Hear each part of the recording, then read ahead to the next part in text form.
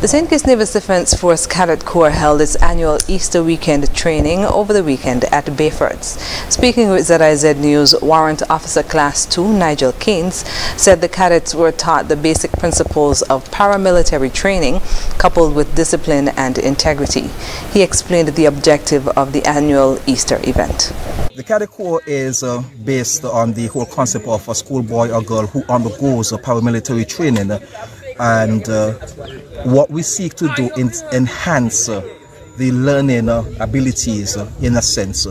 We also want to engage them in activities where they find it more meaningful and get away from the ordinary sitting down behind a computer at home and coming out and doing something active uh, where they can be with their peers and create bonds uh, and of the sort. Additionally, what we seek to do here, what we are doing here right now is basically a survival training course where we are teaching them land navigation, um, basic survival skills, uh, where they would have to prepare their own meals, set their own shelters, as well as we teach them some basic field craft and uh, weapon handling, weapon handling discipline to be more specific.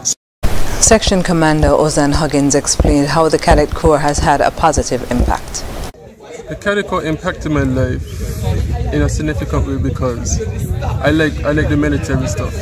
So the Cadet Corps helps to strengthen me in that mindset of military operations, military corps and so forth. Also teach you like survival skills and so forth. And like we, like we learned medic training and so forth a couple weeks ago. So in my personal life, I could use that that training to help any casualty that I meet along the way. The St. Kitts Nevis Defence Force Cadet Corps Easter Retreat ran from Monday to fr from Friday to Monday. The Cadet Corps is made up of children between the ages of 12 to 18 years old.